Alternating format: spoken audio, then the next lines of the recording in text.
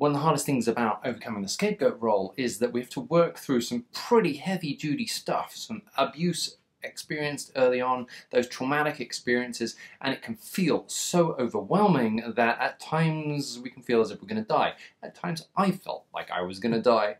This video is how I have worked through some of that stuff, and I'm still working through some of that stuff, how I counteract the level of overwhelm, and not have to feel like I'm going to die. My name's Mark. This is The Emotional Alchemist. One of the easiest things I found to work through this stuff is to have a self-care plan, especially one that helps me balance out um, my left and my right brain, the analytical part and that feeling overwhelmed side of my brain. There's a link in the description below to a PDF that I use with fun exercises, just fun stuff that I do to balance out my left and my right brain. If you want that, it's free. Click the link and it will be taken straight there. For me, working through all of this really heavy duty stuff is super difficult and uh, has been. It just feels like wading through tar, which is kind of hiding kryptonite underneath. And when that stuff, so when I start looking at the stuff that went on back then, those th experiences I had as a kid that affect my self-esteem today and affect how I turn up in the world. My fear of visibility comes from messages I learned early on and run as a program that's still going on in the back of my brain that I can't always see.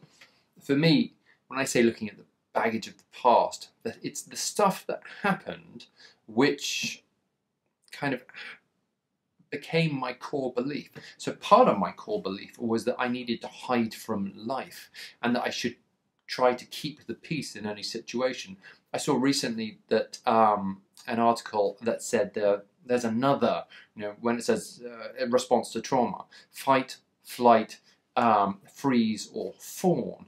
Fawn is uh, the idea that when conflict comes up, many of us do whatever we can in order to be able to make sure that everybody is taken care of and to stop the conflict. And so often that's done at the expense of me and my needs. And working through the early stuff, why do I do that? This is what I call the shadow work. It's why do I avoid conflict? why have I avoided conflict? Some of it became, in my life, it became to a point where I had conflict the whole time.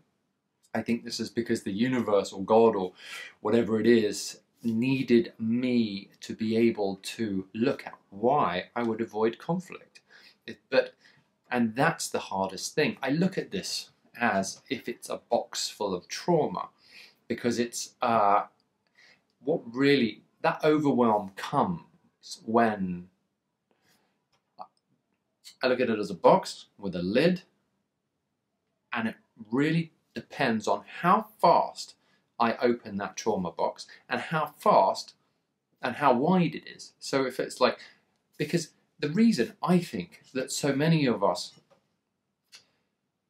come to learn the pain and the trauma and the abuse we experienced, we come to learn it really slowly is because if we were to look at it all at once, kind of, that's Pandora's box. It's like you know that the the old uh, myth that the um, you open Pandora's box and you see all of the sorrows of the world at the same time, and it's just so overwhelming.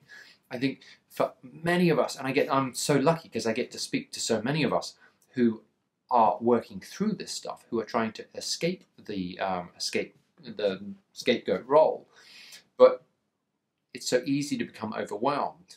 When looking at this stuff, what really matters is how fast and how wide the box opens.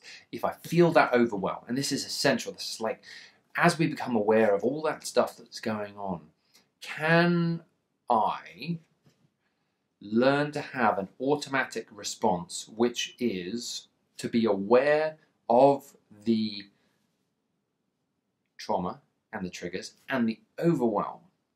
Because if I can become aware of when there is all of that emotional stuff going on, and if I can instead of, because I don't know if you're like me, I can sometimes work and then um, if it becomes overwhelming, think that the answer is to work harder and get it done faster or whatever it is in life, when actually what I need to do is step back or slow down or do something nurturing so that the overwhelm is lessened. If I can use certain triggers, emotions, that if there's a tenseness in my body, if um, emotionally I feel overwhelmed, and I can say, okay, I could keep working now. I could keep looking at that dark stuff or whatever it is. But what I can do instead is some sort of self-care. I have a list of actions that um, that I do which balance the left and the right brain. It works really well. Some of it's so simple. It's literally like doing this. I don't know why it works, but it does. Um, and uh, there's something called a thymus thump. It's ah, uh, it's a funny weird thing, but actually it is a thing. If you look it up, for some reason it unblocks spiritually. It's well known in kinesiology.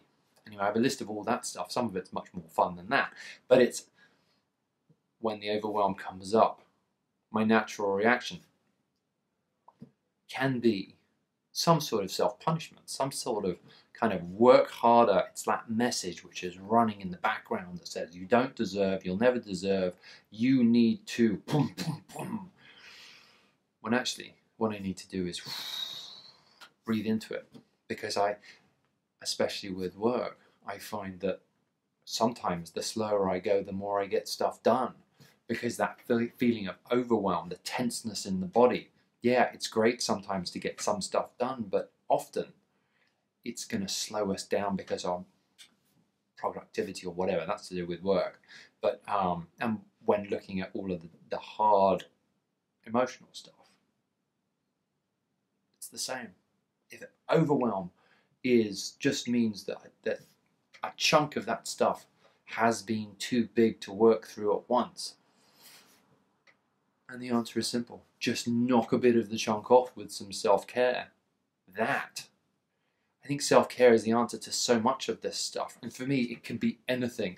You know, uh, go for a walk, find a dog somewhere, or um, uh, have a bath, or make herbal teas, or there's finding what it is that connects you, especially, or talking to someone else, having fun with someone, calling someone up, and laughing. Some of the most joyous ex experiences I've had are laughing with other people who have experienced the same sort of traumatic experiences. And that sounds weird, but some of the some of this stuff, you know, when you find people who are your tribe, when I find people who are my tribe and we hang out together, there is a healing that goes on, and somehow, bizarrely, we laugh at the craziest shit which has happened. And that, that's amazing. Give me more of that. Give me more people like those. Not everybody is my tribe, but when I find my tribe, there is this boom connection, this kind of, it feels like family. And that, I think that's what we're all looking for. If we can't find the connection that uh, we want with our families of origin, we find family elsewhere. For me, those of us who have experienced the scapegoat role, those people who are the black sheep of their family, when we hang out, we have a lot of fun. I personally think that scapegoats are the fun ones. Uh, yes, the crazy ones, but that's where the healing is. The more I do that, the more fun and joy and flow I find in life. If this video has been helpful and you want to see more videos like it, hit the subscribe button and the little bell icon and you'll be notified of new videos. And if you are trying to escape the scapegoat role and want help with all those negative messages and the baggage you were given as a kid, then kid, that's so funny. Goats, kid, baby kid, baby goat is a kid. If you want help with that stuff, with an scapegoat plan, I do coaching as well. There's a link in the description below. Hit that and you'll find out more about it.